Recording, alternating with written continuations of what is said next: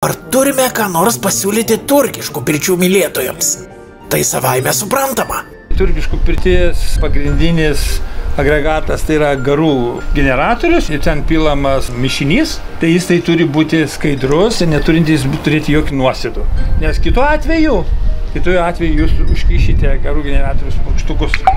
Tai va dabar jums man pa, pa, paduokite, aš jums pa, pa, paaiškinsime, kas tai yra daiktas. Tai čia yra, tai yra nuostabus du produktai. E, rekom, rekomenduočiau. Taip. Rekomenduočiau. Visiems labai rekomenduočiau.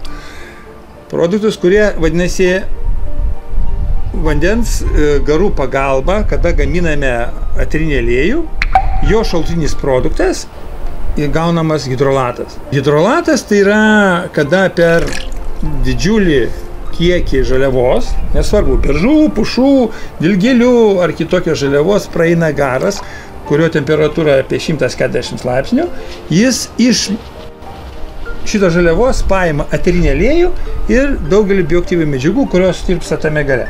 Ir jis tada, eidamas per įrenginio visas dalis, jis susikoncentruoja, virsta, iš garo virsta skyščių ir tada, ir tada jisai e, nusistovi ir mes nuo paviršiaus nuimam eterinį aliejų, o kas yra pačioj, yra hidrolatas. Tai gariniam galima tą hidrolatą. Tai gariniam, turkiškom pirtim, jis čia yra, matot, kada daro specialią e, vandens emulsiją garinėms pirtims, tai ten dada visokių ir, ir spirito, ir, ir kitų tirpiklių, kurie labai kenkia sveikatai. Čia yra natūraliai pasigaminiusi stabili vandens ir eterinių aliejų bioaktyvių medžiagų emulsija.